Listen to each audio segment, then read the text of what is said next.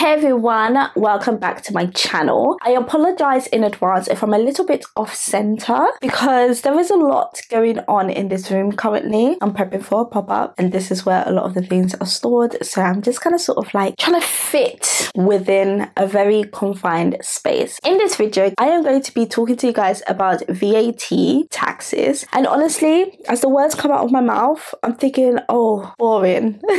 but I am gonna try and make it as engaging as I possibly can. For those of you that don't know me, my name is Tadii G, and this channel is all about me taking you guys along for the journey with me whilst I build my clothing brand, as well as trying to drop tips, tricks, gems, and all of that good stuff.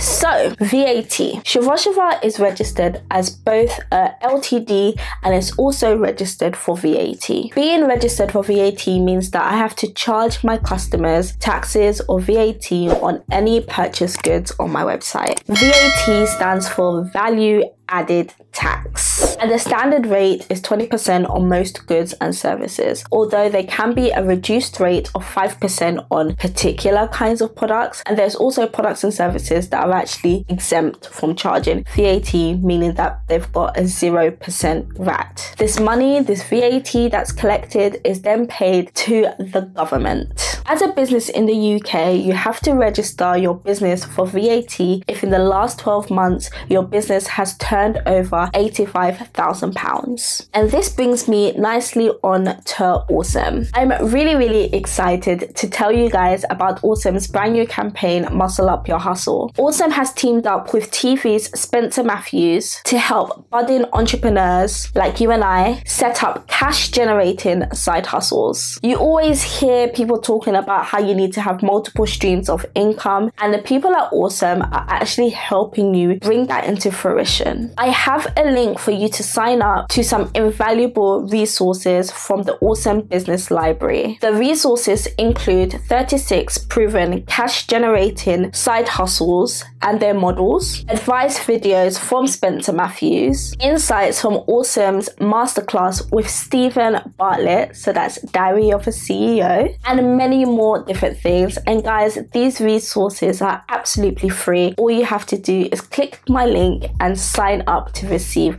the resources. Guys, let's get started with these side hustles. Stop sitting on it. If you needed like a sign to start, let this video be exactly that.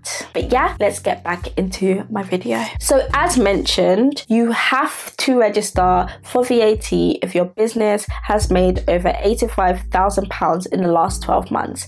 However, you can voluntarily register your business for VAT, even if your business is making under £85,000 in the last 12 months.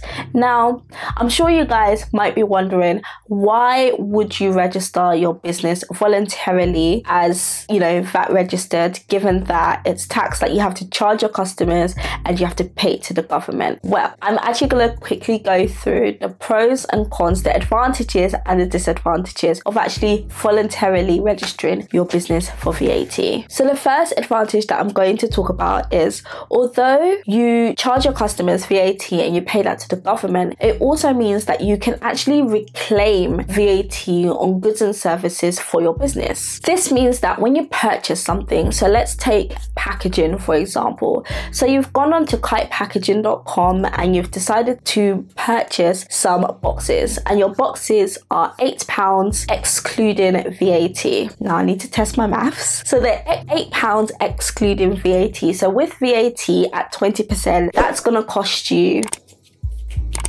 an additional £1.60, which will bring your total cost to £9.60 for whatever packaging you're purchasing. So now when it comes to submitting your VAT returns, however you do it, whether it's every quarter or whatever it may be, you are then able to reclaim that £1.60 that you were charged VAT, which means now when you run through your business and you're purchasing things for your business, all you need to do now is start just looking at that price before VAT because you know that eventually you're going to get back that 20% that you were charged. Now, I know £1.60 seems like very little, but imagine if what you're buying is £800. Yeah, the VAT that's going to be charged. So, that is a big advantage of having your business registered for VAT. It's particularly good when your customers are other businesses, which means that they can also reclaim VAT. And this means that the prices that you've set for your business remain competitive despite the fact that you're charging VAT.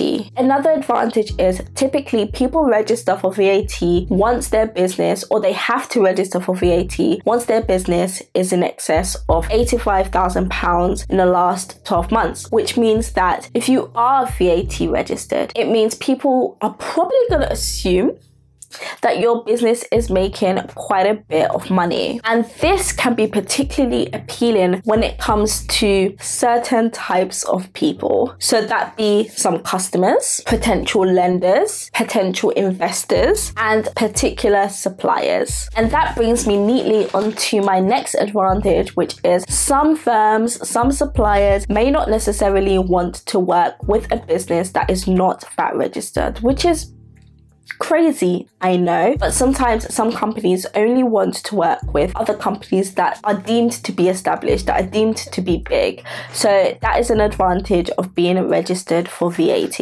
Another amazing thing that I discovered whilst I was doing my research to film this video is that with the right kind of evidence, you can actually backdate and reclaim VAT on products that you've purchased before you registered for VAT, so long you're still using the products. So take my iMac, for example, that you see in the background there. I could register for VAT today, and because I still use that, if I've got like all the receipts and all that kind of stuff, I could actually like reclaim the VAT on that baby and get that money back. So so that is a really big and good advantage of registering your business for VAT. And my final advantage, which I feel like is probably like one of the most beneficial advantages of registering your business for VAT is the fact that it forces you to actually keep accurate records of your business. So, for example, I submit my VAT returns every quarter, which means every three months I have to sit there and look at my numbers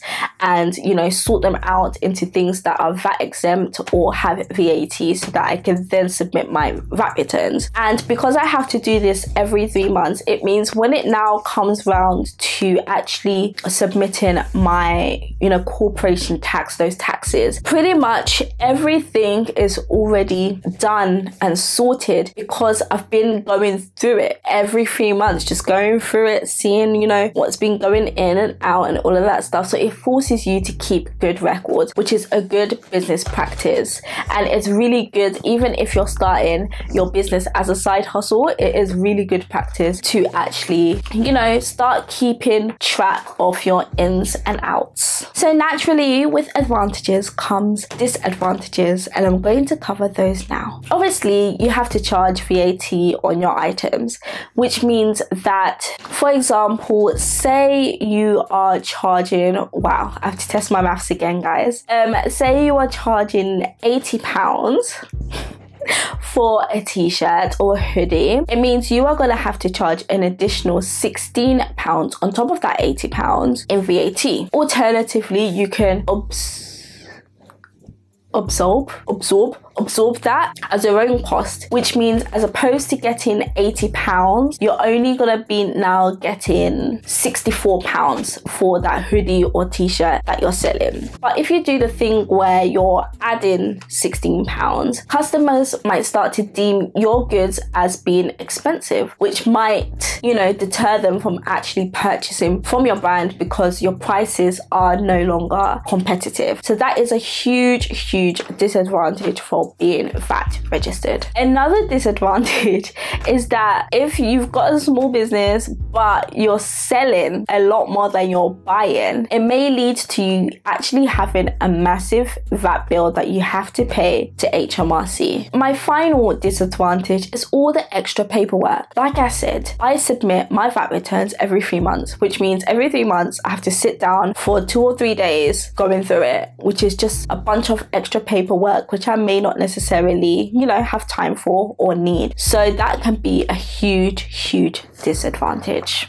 And that's pretty that's pretty much what I have for you guys on VAT and being VAT registered. One day soon I'll actually go through, you know, what it looks like when I'm actually sitting down doing my VAT returns. But yeah, guys, I really, really hope that you have found this lovely short video helpful and that, you know, it's something to think about, food for thought. Obviously, with all my videos, although I do the research, also do your own research and see whether you think this is something that will work for you. But yeah. Thank you guys so much, and I will catch you very soon in my very, very, very next video.